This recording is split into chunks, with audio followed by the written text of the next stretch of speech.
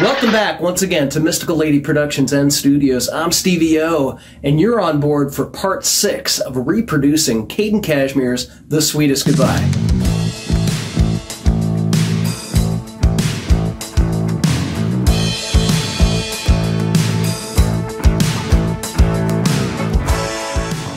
Once again, welcome to part six of this 11 part series. If you haven't checked it out already, go back and check out parts one through five. We cover a lot of ground on what we've done with the song so far, including evaluating the song, sequencing drum tracks, laying down bass, and some keyboard parts. All the MIDI stuff is behind us.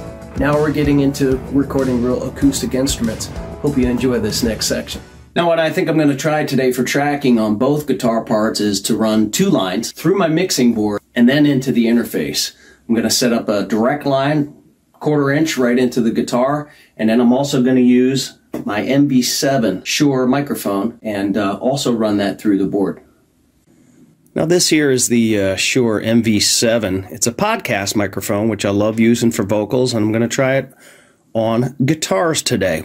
All right, I'll be using my good old Behringer X2222. I use this live and studio. I like to give my guitars and my vocals a little more analog feel. That's why I use the board. I go pretty much direct with just about everything in into the interface, but with acoustic guitars, anything mic'd, and uh, vocals especially, I like to use the board. I'm going to be using the uh, Shure in the channel 2 and direct line into channel at 8. Okay. Now, as I listen back to some of the work I've already done, thinking about the acoustic guitars and what I've got in my head for the first verse, it's very soft, so I want the acoustic to come in very gently behind the keyboard and the strings. And then get a little bit more strumming and um, as, as the chorus comes in. Thinking for the verse, maybe a nice little picked 12 string, simple chords on the 6th string, or vice versa.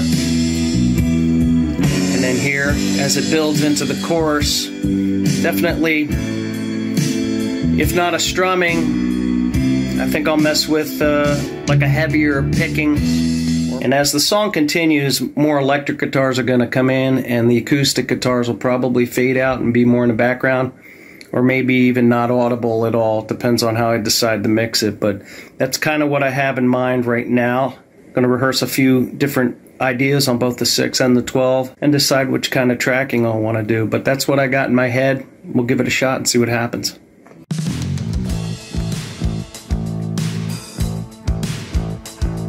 Hey, this is Stevie O. If you are enjoying this content, if you're into this kind of thing, please don't forget to like and subscribe and share and all that jazz. Would really appreciate the love. We'll see you in the next video.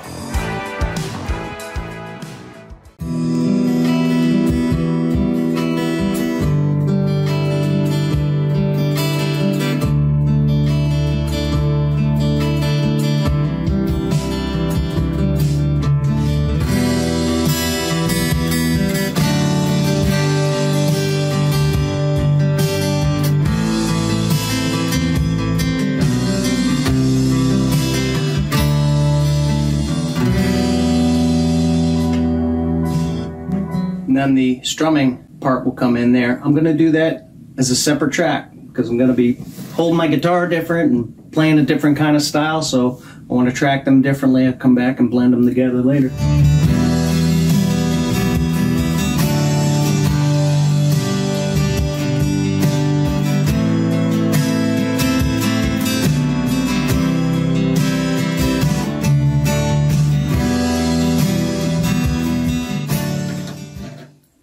All right, what I got in mind for the 12 string is really pretty. You know, it's E minor, G, D, and C. Instead of just doing a picking thing based around the chords themselves, I want to I want to use just the four bottom strings and do more of an open note, open string kind of kind of thing.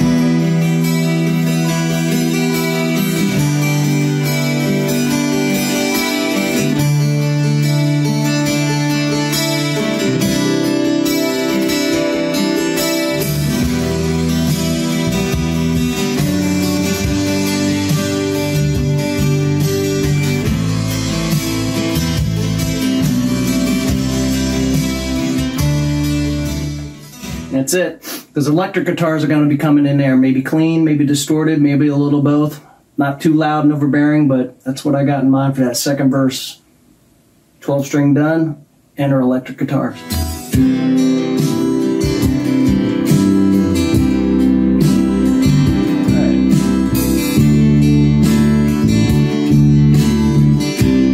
More instrumentation, nothing too heavy yet. Can't wait to add those electric guitars though. And those vocals. Got those two portions coming up.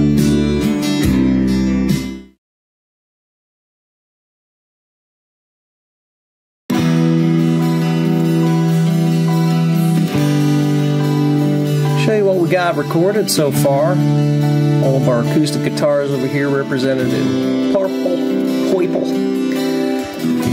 This is the bus right here for all of those guitars combined. Keyboard parts, our bass parts, and all the drums here in red.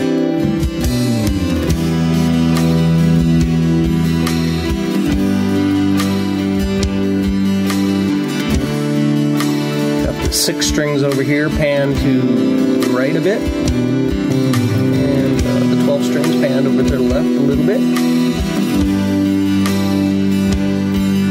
Sounding very pretty.